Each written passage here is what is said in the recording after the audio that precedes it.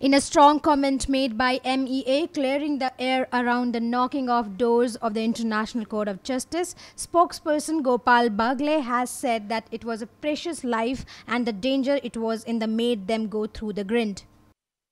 That the court has initiated on our application.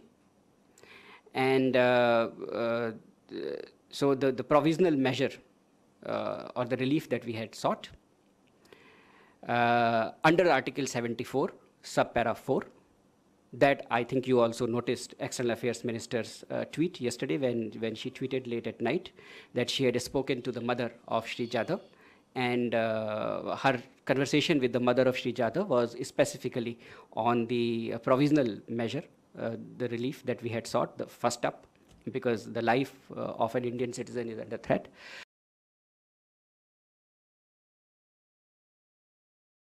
I would just recall to you that uh, we had made 16 requests for consular access, which were denied.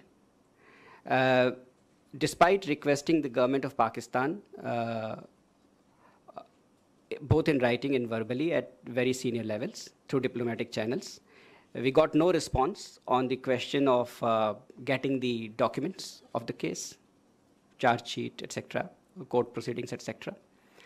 Uh, we do not know the status of the petition and the appeal filed by the mother of Mr. Jadhav.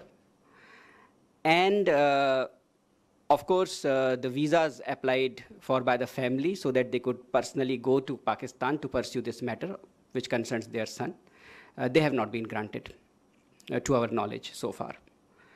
So in this situation where, uh, where, uh, where the life of, a, of an Indian who was, who was kidnapped and is illegally in detention in Pakistan, and as we have said earlier, was uh, not given a fair trial, uh, and about whose well-being our concerns persist.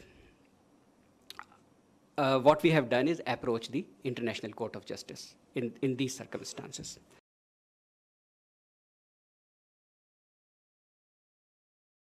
I have mentioned to you very clearly that the circumstances that existed, the life of an Indian citizen is a threat. We have been denied consular access, which is in contravention to, uh, to, to, the international law, and therefore we have sought this, sought this course of action.